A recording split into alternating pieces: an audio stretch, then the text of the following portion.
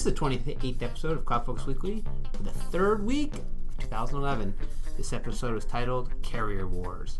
Cloud Focus Weekly is sponsored by Arkus, Cloud Community Experts. I'm your host, Jason Atwood, and joining me, my co-host, for now and forever, till podcast do we part, it's Justin. Justin, how you doing? That was cute. Wasn't that?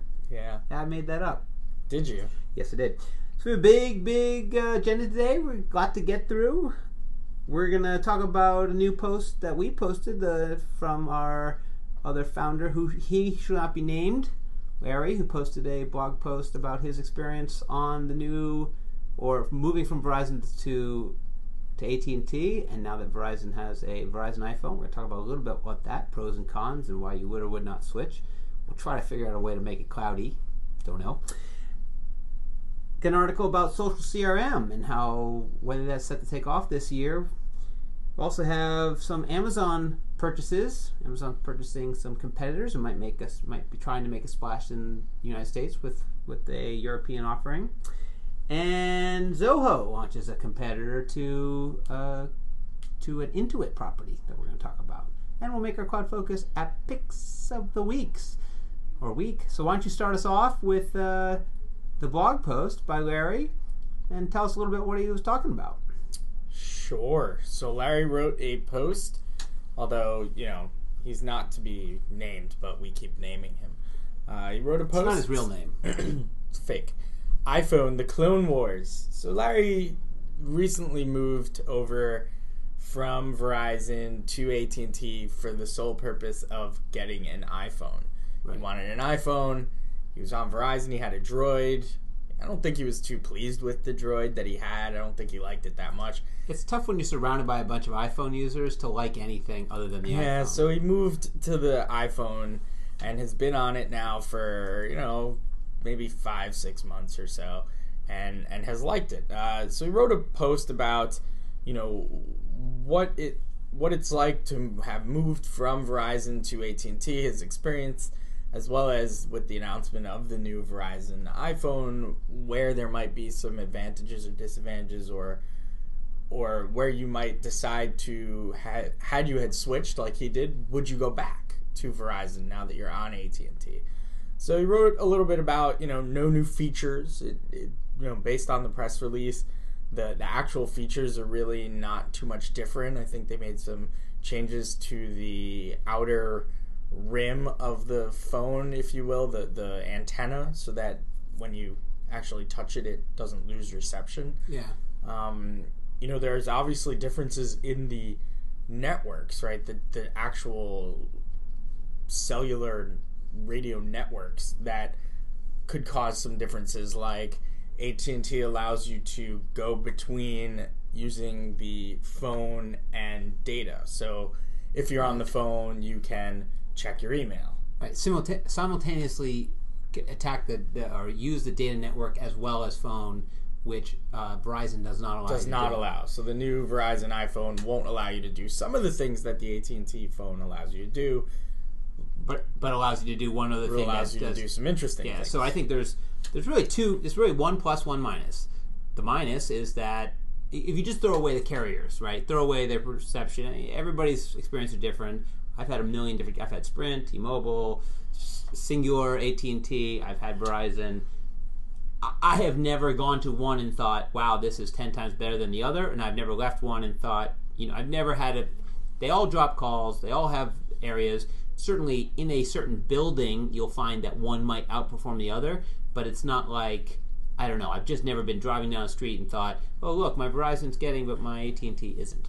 So I think there's two two things to look at. One is that you you can't do the simultaneous, which actually would be a major stop for me because I do that all the time. I'm on the phone and I'm talking to someone and checking email or doing something else while I'm on the phone with them. That is surfing. I think that's a it's a great feature. So, well, yeah, if you're if you have your headset on and you're talking to someone on the phone and they say and you have to go to the Google Map. Well, that's that's a good feature, right? You can't do that now with or you wouldn't be able to do that on the Verizon. You phone. would if you had if you had Wi-Fi, just not if you wanted to Right. use the cellular network for both the voice and data. So that's one. But the other thing is a feature they've put into the new OS, the new operating system, and Verizon is going to support it. Now, it's wait. So this is sort of a wait to see what happens with AT and T, which is that they're allowing for the iPhone, which is something we've all been waiting for, which is the iPhone can now be a Wi-Fi hotspot. So like Verizon sells the MiFi that we have, and, and Sprint sells the same one, we have that one too. We like to have backups you can use it as a hotspot for multiple devices to attach to. And this is different from iPhone tethering, which allows you to use a Bluetooth connection to connect your, your computer to your iPhone. This allows anything that thinks that can connect to Wi Fi, like an iPad, connect to your iPhone to use it as a data.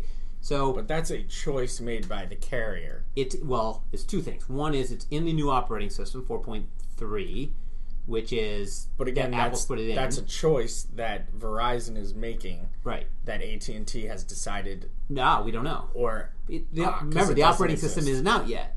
We don't all have it. We don't have the operating system, Gotcha. so we can't tell whether AT and T is gonna. I, here's the end of it. If you're on Verizon and you have the chance to get an upgrade to a phone, fine. I, I would suggest anybody who isn't just who hasn't been just salivating at the bit for six months or a year or two years. The only thing I would say to keep me away is that what's happening in June and what are they releasing in the iPhone 5? Okay, there will be an iPhone 5. It will be in June July timeframe. It will have new features and it will come out on both carriers simultaneously. I guarantee it because they just announced that AT&T has now re-signed up with Apple, but it's not a it's not an exclusive agreement. So to me, you go from February to June, and I'm always the guy who likes to have the hot ticket item, right? The new tech. So if I went and got the Verizon iPhone for two hundred dollars, and then I had to pay another six hundred dollars in June, I'd be mad. So that'd be my concern about moving from one to the other. But again, if you're someone who's waiting, or you know you're you don't really care, you just want the iPhone 4, and you have Verizon, go for it. You know, I think for us AT and T people, it's more of a wait and see. Let's wait till people get their hands on it, and to see if it's really that much better. Stand side by side with them in a place and go, how's your connection versus mine? Um, so that's that's interesting. You know, it's it's it's certainly a long time coming. So, um, but so we'll also go to uh, the next article, which was on ReadWriteWeb. great transition. Yeah, it was a uh, Sagui, Wow. uh, which is actually about interesting because it's on ReadWriteWeb, but it was about a uh, survey that Sugar CRM, a competitor to uh, Salesforce, uh, released about social CRM and whether CRM whether people are integrating social not features but social profiles into their CRM, um, which is you know we talk a little bit about when we talk about Chatter, Salesforce Chatter, we usually say it's integrating social features into your CRM. This is integrating the profile information, and they're saying that 26 percent of them have already done it. Um, 72% plan to do it soon, if not this year. You know, I think it's an interesting take on what people consider, you know, customer relationship management. Is your social profile, your Twitter, your Facebook, is that part of your relationship strategy? I guess. Uh, from two different angles. From the angle of a consumer or somebody where I would be the client. I don't want this. I don't I don't want my Facebook or my Twitter to be to become like television with commercials, right? I, I don't want to be like having fun with my friends and then all of a sudden there's a break because there's a commercial from some company that knows me but not really right that was sort of an odd analogy but I, I i feel like that's like stay away from me our relationship doesn't exist here our relationship exists elsewhere and i don't want it to exist here so don't don't bother me here because this is where i hang out with my friends.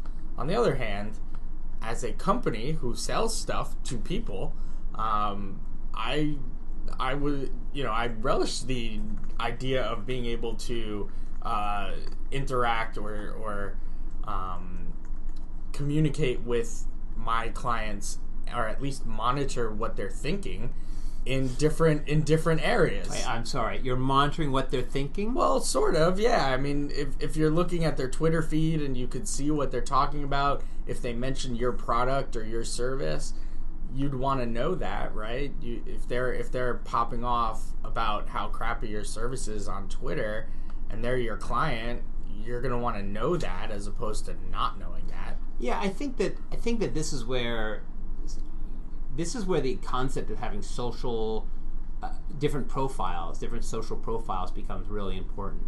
I don't mind if you integrate my professional profile. I have professional profiles. I have a Twitter account, Jason M. Atwood. Uh, I have a, a LinkedIn account, and these are professional. I use them professionally, and so if you want to put in your CRM what I'm tweeting on my professional account or what I'm doing on LinkedIn, fine, because that's it's out there for the world. It's it is a you know in some ways it is what it is. It's a microblog of of things that I'm doing, and I and I cater what I'm saying in a professional voice. Facebook is different because Facebook is not an open network; it's a closed network. It's an invitation only network. I lock Facebook down as tight as I possibly can. Friends only. You know, and I get rid of people all the time who I think are just kind of fringe friends. Your fringe friend, you're gone.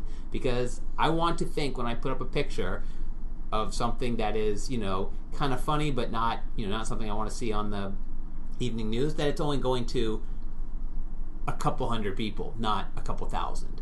So You don't have a couple hundred friends. I have a hundred, and I, my goal is to always keep it under two hundred. So one in, one out policy with me now. um, so you know, I, I think it's. I don't mind it that they, and we do it. I mean, we certainly capture.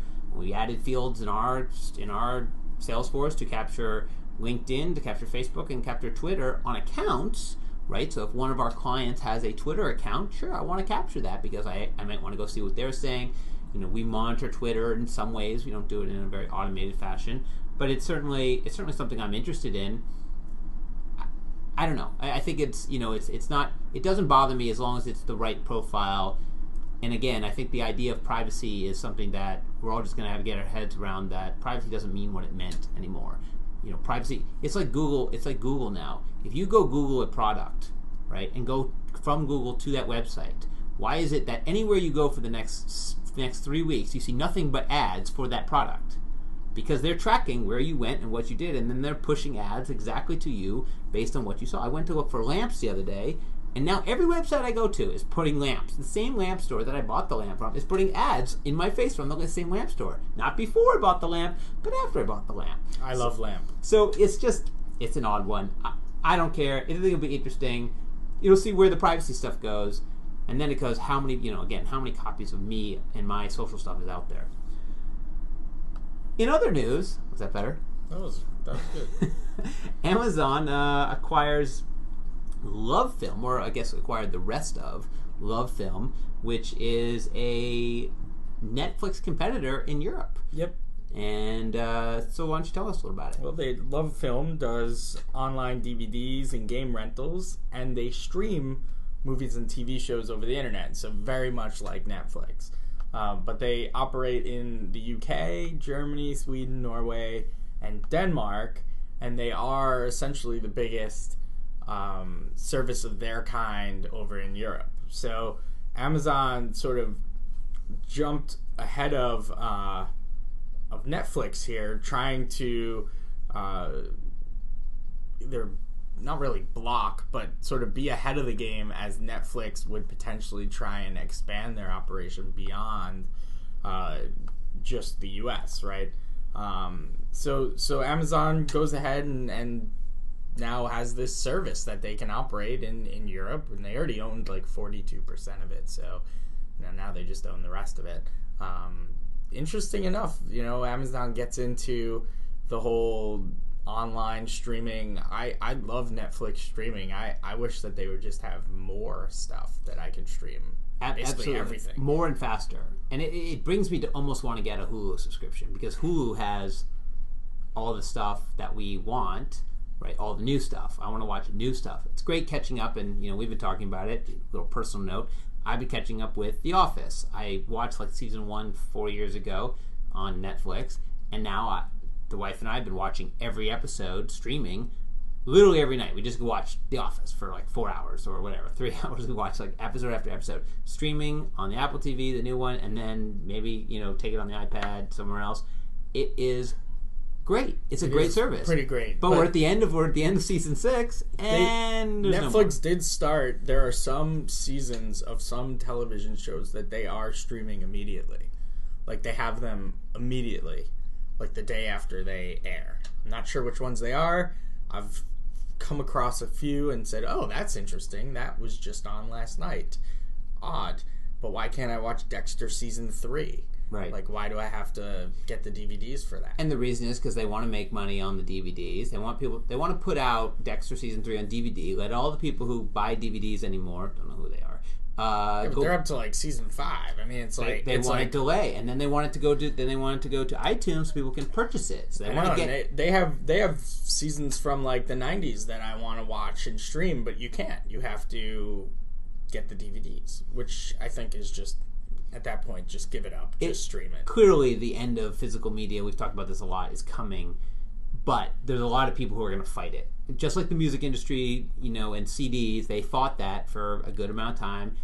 I don't think at any point anybody at this point thinks that cds is the way of the future. Nobody's going back to, to media when it comes to physical media when it comes to music anymore. Actually, people are buying records nowadays. yeah. Th those yes and people still buy laser discs No, yes they do there are people who have huge laser and love it and still say it's the best format ever no. kooks moving on People do buy records though now. Records Yes. are making a comeback No. because they come with free downloads.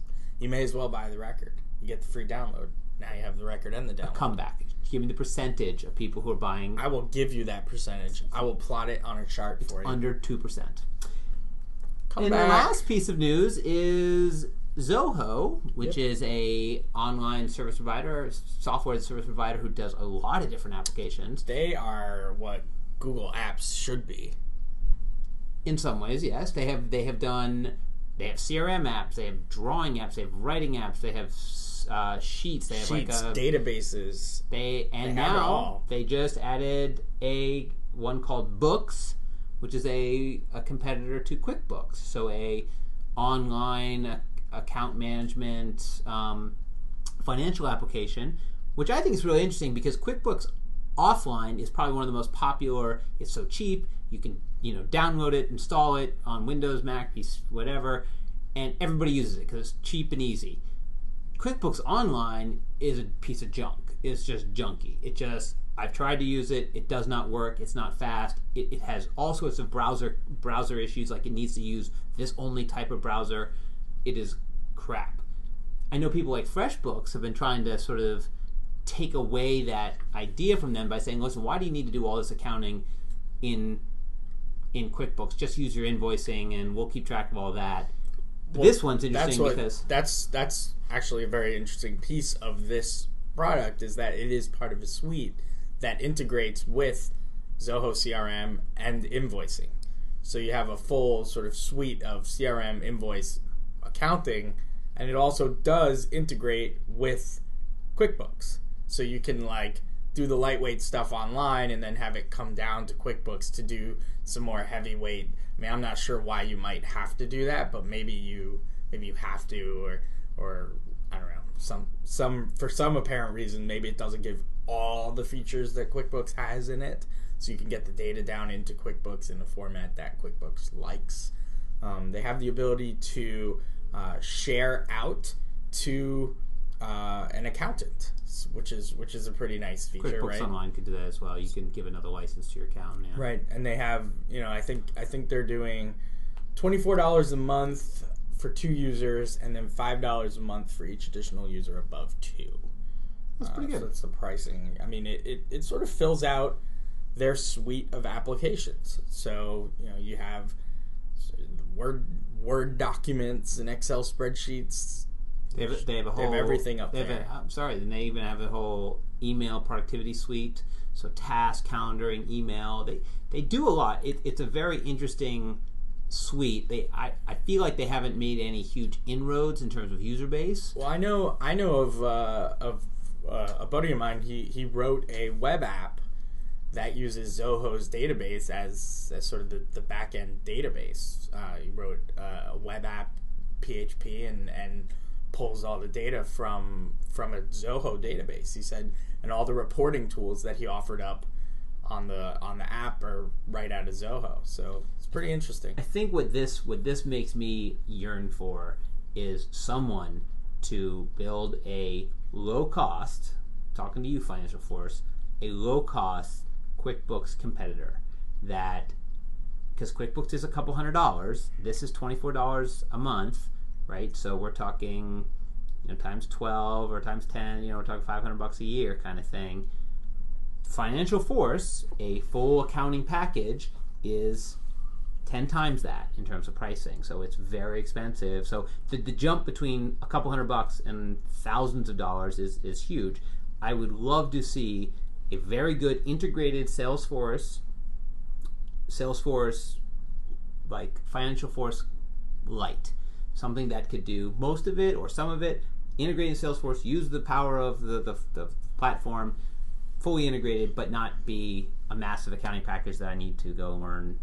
Uh, either need to spend that kind of money or I need to go uh, build out. Because a lot of people, including nonprofits that we work with, are always saying, "Oh, we use QuickBooks. I wish there was something online we could use." Then they end up looking at something like NetSuite, but NetSuite isn't very cheap either.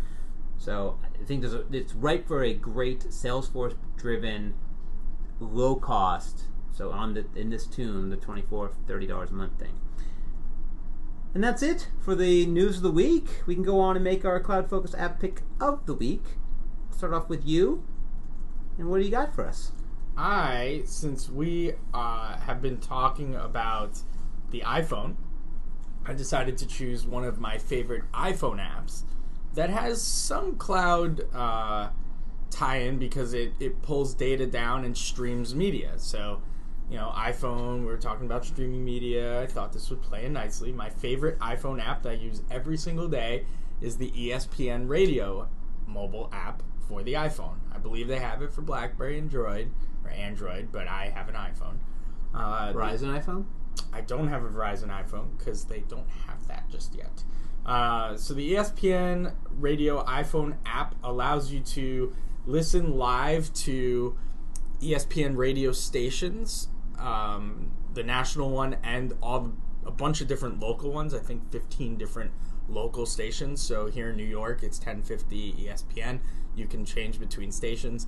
That's nice. But my favorite feature is the fact that you can grab every single podcast that ESPN produces, and they produce a lot of content. We're obviously podcast people. We do our own podcast, so obviously we listen to them as well. I listen to four or five different ESPN podcasts that they produce, and I have them in a favorites list, and I can just go and it doesn't even download them; it just you know streams them down off the web. You can play them in the background. It'll open up a Safari window and sort of download them in advance. So if you're going into the subway, you don't have to worry about it because uh, it sort of buffers and downloads itself in advance. Uh, you can listen to uh, an on-demand sports center that sort of refreshes itself every 20 minutes. It's pretty decent, uh, and they they have a little um, a little scroll on the bottom that that's sort of like the bottom line on ESPN that scrolls the scores and stuff for you. Um, all in all, I think it's a, a phenomenal app for 2.99. Uh, one of the best purchases I've made on the iPhone. Nice. Yeah, it's a great app for two ninety nine. It it shows off the power of, you know, being a, a, a big time content provider and just having another avenue to get your content out there in a really interesting way. Are there commercials in the podcast and in the app? There are well, the the podcasts themselves are sponsored. Like so they have so they have some you know brought they'll be on by. the well yeah either brought to you by or you know I I I listen to Pardon the Interruption the big the, their television show and it's you know since it's a TV show that they just podcast right as they just take the audio and put it out as a podcast I mean they have logical commercial breaks and sometimes they'll have like a five second little thing like you know listen to this other podcast or something like that. But other than that, no, there's not really a whole lot of commercials. Yeah, it just I'm always interested when someone because all those podcasts are available on iTunes. Totally. You could go to free. iTunes and grab them. Right. And No, well, the podcasts themselves are still free. It's just the app is two ninety nine, which allows you to jump and get to them very easily and not have to sync down from your iTunes and and the whole thing. yeah, it's just interesting because again, you can you can basically subscribe to any podcast for free. It shows up in your iPhone. You can click get more doesn't. episodes. You can click get more episodes from your iPhone. You then can. download the newest one on the fly and listen to it. Only if you're in a Wi-Fi spot. You can't download them. I mean, you can do all this stuff, but it's a lot of jumping Yeah. around as I- opposed to hopping into one app. Uh, the only thing I find interesting is that when you charge money for an app that is supporting a brand and then has that commercials in it, so it's like that always makes me like, well, I don't get it. Why am I paying two ninety nine? I think it's a great app. If it were free, I'd buy it. Or I'd, I'd download it second because great. Then I'm listening to your content more. You're making me listen. But why are you charging me to listen to your ad driven content? This seems kind of seems kind of odd. Anyway, mine's gonna blow your mind All right. because I'm picking a Microsoft product. Good for you. I am picking. I am picking. Microsoft actually released a new application for the iPhone. It's their first segue, other than search, when they released Bing, into sort of an application for the iPhone. So, and this is truly cloud computing because it is a cloud syncing note app called OneNote.